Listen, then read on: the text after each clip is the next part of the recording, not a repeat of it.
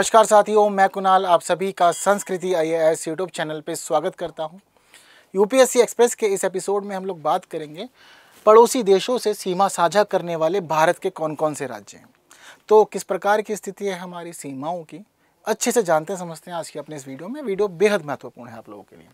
तो जब हम भारत की भौगोलिक सीमाओं को समझते हैं तो हमें पता लगता है कि जो हमारी अंतर्राष्ट्रीय सीमा है, उसमें हम कुल नौ देशों के साथ अपनी सीमाओं को साझा कर रहे हैं। लेकिन नौ देशों में सात देश ऐसे हैं जिनके साथ हमारी ज़मीनी सीमा है और दो देश ऐसे हैं जिनके साथ हमारी समुद्री सीमा है। ज़मीनी सीमा साझा हम लोग जिन देशों के करते हैं, उसमें नाम शामिल है अफ़गानिस्तान, बांग्लादेश, भूटान, चीन, म्यांमार, नेपाल और पाकिस्तान। समुद्री सीमा हम लोग दो देशों के साथ साझा करते हैं, जिनमें मालदीव और श्रीलंका शामिल है। ठीक, ज़रूरी है कि आप लोग याद रखें। बातें करते हैं धीरे धीरे एक एक देश के बारे में। अफ़गानिस्तान, हमारा जो राज्य लगा हुआ है, वो है जम्मू और कश्मीर। और इसके साथ हम लोग 106 किलोमीटर की सीमा साझा करते हैं। बांग्लादेश इससे जुड़े हुए राज्य हैं पश्चिम बंगाल, मिजोरम, मेघालय, त्रिपुरा और असम। इसके साथ हम लोग कुल सीमा साझा करते हैं चार हज़ार छियानवे किलोमीटर की। भूटान, अरुणाचल प्रदेश, असम, सिक्किम और पश्चिम बंगाल राज्य से लगा हुआ है और कुल यहाँ पर सीमा है छः सौ निन्यानवे किलोमीटर की। चाइना लद्दाख हमारा केंद्र शासित प्रदेश है, उत्तराखंड, हिमाचल प्रदेश, सिक्किम और अरुणाचल प्रदेश। इन सभी राज्यों के साथ ये सीमा साझा करता है और सीमा यहाँ बन जाती है कुल तीन हज़ार चार सौ अट्ठासी किलोमीटर की, काफ़ी ज़्यादा लंबी है। चीज़ें क्लियर हैं? बढ़िया। आगे हम देखते हैं कि म्यांमार, ये अरुणाचल प्रदेश, मणिपुर, मिजोरम और नागालैंड के साथ सीमा साझा करता है और भारत और म्यांमार के बीच कुल 1600 किलोमीटर का बॉर्डर है। ये भी हम लोग को देखने को मिल जा रहा है।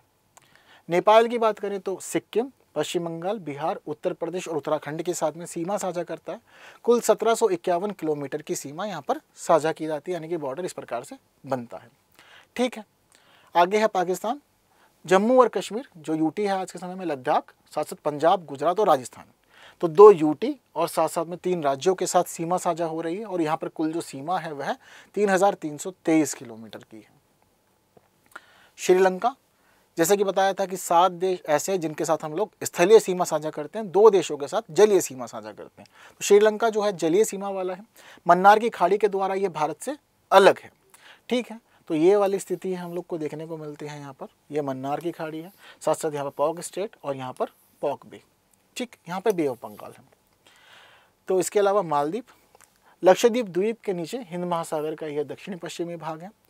छोटे छोटे से द्वीप यहाँ पर बहुत सारे बिखरे हुए हैं। तो इसी के साथ हमें जितनी बातें हमारी आज के इस वीडियो में करनी थी, हमने सारी बातें कर ली हैं। यानी कि कौन कौन से राज्य किस किस देश के साथ सीमा साझा करते हैं कितनी कितनी सीमाएँ साझा हो रही है। उम्मीद करता हूँ ये वीडियो आपके लिए इन्फॉर्मेटिव रहा होगा। तो ज़रूरी है कि आप इसे बाकी साथियों तक शेयर करें। वीडियो को लाइक के बिना नहीं जाना है। और बाकी ऐसे इन्फॉर्मेटिव वीडियोज़ के लिए बने रहना है संस्कृति आई एस यूट्यूब चैनल पर हम लोग बातें करेंगे बाकी हमारी अगली वीडियो में कुछ नई विषयों के साथ। लेकिन तब तक के लिए दीजिए मुझे विदा। Thank you so much